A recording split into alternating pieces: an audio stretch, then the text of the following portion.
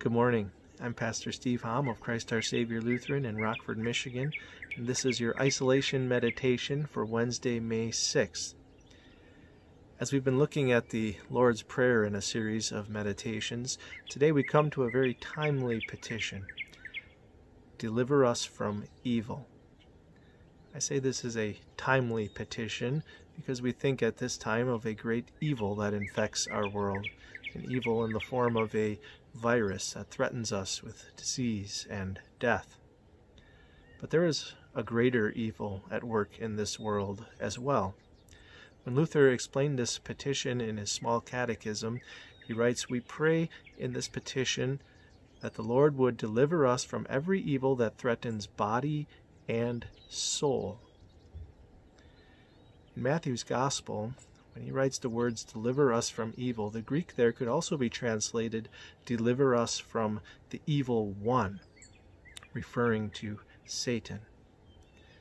The greater evil at work in this world is the way that Satan is using this virus to tempt people and lead people into sin.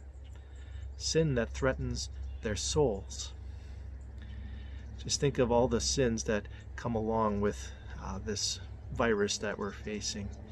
Sins of fear, worry, despair, sins in the way we treat one another, temptations for anger or slander, disrespectful attitudes.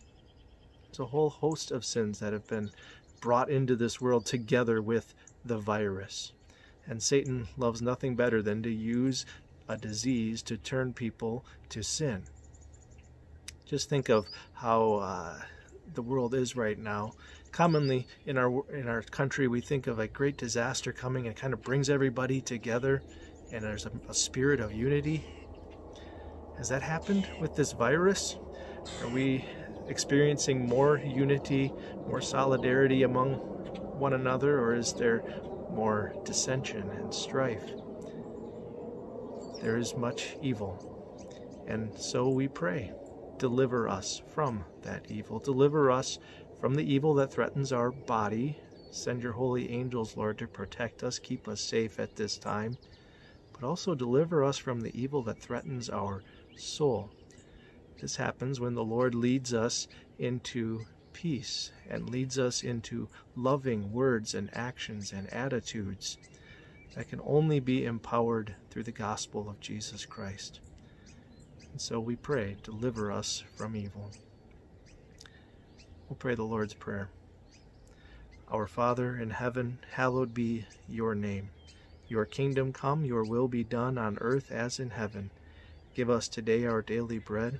Forgive us our sins as we forgive those who sin against us. Lead us not into temptation, but deliver us from evil.